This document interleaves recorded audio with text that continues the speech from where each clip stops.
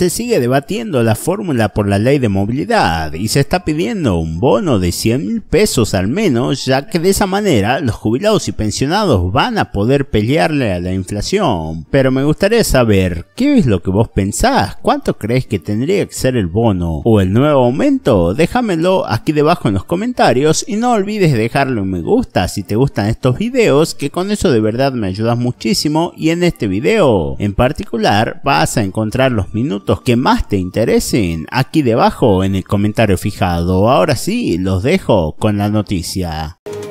En vivo y en directo. ¿Qué va a pasar con los jubilados? Es la pregunta que nos hacemos todos.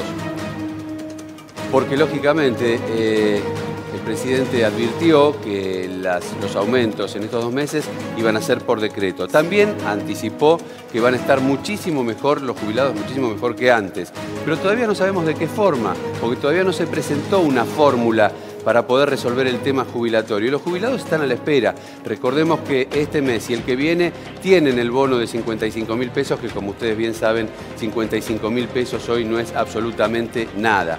Tendrían que haber tenido, como dijeron muchos, mínimamente un bono de 100 mil. A ver, hay una recomposición que no llega, en general el poder adquisitivo de todos los argentinos ha, perdido justamente contra la inflación. Los jubilados eh, tenían estos parches, hay que decirlo, parches eh, llamados bonos para poder tener un poco mejor eh, el haber jubilatorio, sobre todo de la mitad de los jubilados prácticamente que cobran menos de 200 mil pesos con este bono que decías vos, Claudio, y que van a estar obviamente por debajo de una canasta que está muy por encima de ese importe.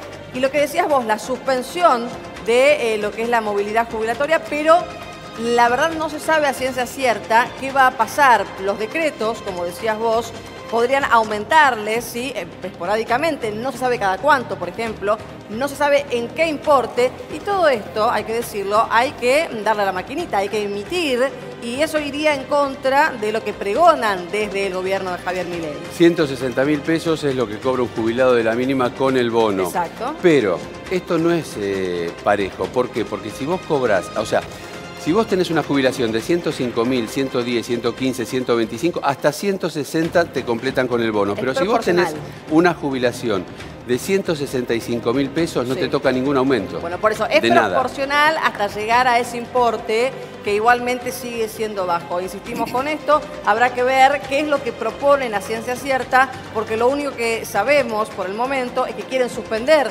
esta fórmula. La verdad es que es muy pequeño, sobre todo lo que cobran, insistimos, 105 mil, el haber mínimo para un jubilado y todavía no sabemos a ciencia cierta qué va a ser o cuál va a ser la fórmula luego mm, si es que la vuelven a incorporar, porque por lo pronto sería solamente por decreto y no sabemos cada cuánto estarían em, reacondicionando el haber de los jubilados. Y como la oposición tampoco sabe qué es lo que va a pasar con esto, no quiere firmar de lleno el DNU, es decir, Exacto se, proponen tener una fórmula jubilatoria antes de darle el ok a mi ley con su famosa ley. Exacto, ley que todavía no se sabe si va a salir, desde el gobierno son optimistas, piensan que van a obtener el dictamen eh, antes, eh, bueno, esta misma semana para poder, bueno, votarla el 24, el próximo miércoles, que recordemos va a estar este paro general ya avisado por la CGT y en, el cual se están plegando eh, distintos gremios para llevarlo a cabo de lleno el primer paro nacional del año. De cualquier modo, muy optimistas porque suponen que va a salir entre el miércoles y el jueves, es decir, precisamente un día anterior al paro y el día del paro.